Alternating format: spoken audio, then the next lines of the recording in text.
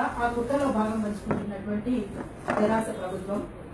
ఇక్కడ వీళ్ళిద్దరూ కలగలిసి వాస్తవానికి పూణే నుంచి పోలీసులు వస్తున్నప్పుడు ఇక్కడ ప్రభుత్వానికి ఇక్కడ పోలీస్ అధికారులకు తెలియదా వీళ్ళకి తెలియకుండానే జరుగుతున్నదా? గతంలోనూ జరిగిన ఇలాంటివి ఇక్కడ. ఇప్పుడు జరుగుతున్నాయి. అంటే వీళ్ళు కలగలిసి చేస్తున్నటువంటి దుర్మార్గమైనటువంటి కుట్ర ఇది. అసలు కుట్రదారులు వాళ్ళై ఉండి కుట్ర కేసులు ఇక్కడ ప్రజాస్వామికవాదుల పైన ప్రజాస్వామ్యయుతంగా పోరాటాలు చేస్తున్నటువంటి వాళ్ళపైన ఆదివాసీలకు ఆదివాసీ పోరాటాలకు దళితులపైన మైనారిటీలపైన జరుగుతున్నటువంటి దాడులకు నిరసనగా గొంతెత్తుతున్నటువంటి రాస్తున్నటువంటి కళాలపైన ఇలాంటి దాడులు చేయడము అరెస్టు చేయడం అనేటువంటిది ఇది కుట్ర వాస్తవంగా వాళ్ళు కుట్ర చేస్తున్నారు. అందుకని కుట్ర కేసు ఇప్పుడు ఎవరి మీద పెట్టాలి అంటే నరేంద్ర మోడీ మీద పెట్టాలి కేసీఆర్ పైన పెట్టాలి. నిజంగా ఇక్కడ ఉన్నటువంటి పోలీసులకు ఫ్రెండ్లీ పోలీస్గా పిలువబడుతున్నటువంటి వాళ్ళకి ఆ ధైర్యం ఉందా? భీమా కోరేగాంలో రెండు వందల సంవత్సరాలుగా స్మృతి స్థలాన్ని దర్శించుకుంటున్నటువంటి ప్రజలు ఈ మధ్య కాలంలో పోయినటువంటి వాళ్ళపైన దాడులు జరిగింది ఎవరు జయించిండ్రు ఎవరు చేసిండ్రు అనేటువంటి ప్రపంచమంతా తెలుసు.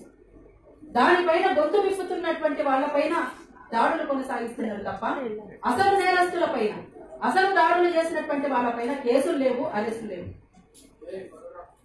వాళ్ళని కాపాడుకుంటున్నారు.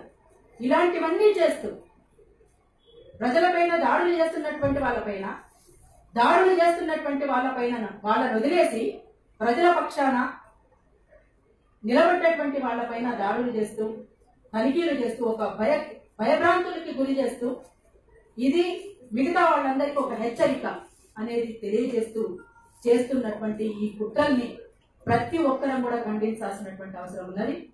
ముందుకు రావాలి. మనం గత కొంతకాలం నుంచి గత కొంతకాలం కాదు చాలా కాలం నుంచి స్మృతి సాగర్లో ఎన్కౌంటర్ అప్పటి నుంచి కంటే ముందు నుంచి కూడా మన అందరం ఒక ఐక్యత దిశగా మనం అంతా కొ- కలిసి కొనసాగాలి. మన ఐక్యతను ప్రదర్శించలేకపోతే దీనిపైన దెబ్బ కొట్టేటువంటి అవకాశం ఉంటుందని ఎప్పటికప్పుడు మనం మాట్లాడుకుంటూనే వస్తున్నాం. కానీ అది జరగట్లేదు. అది కొనసాగింపుగా నడవట్లేదు కనుకనే ఇక్కడ దాకా వచ్చింది. అరుణోదయ ఆఫీస్ పైన దాడి జరిగినప్పుడు అడుగు పెట్టడానికి కూడా జాగలేదు. అంత చిందరమందర చెత్త కుండీలోనైనా వేరుకో ఏరుకోవడానికి ఏమైనా దొరుకుతుందేమో కానీ అరుణోదయ ఆఫీస్లో మేము పోయి చూసుకున్నప్పుడు ఆరు నెలల తర్వాత మేము చూడడానికి పోయినప్పుడు అసలు ఏమీ కనిపించట్లేదు మాకు. ఏ వస్తువు ఎక్కడుందో ఏ బట్టలు ఎక్కడున్నాయో మాకు తెలియనటువంటి పరిస్థితి. అట్లా చేసిండ్రు వాళ్ళు.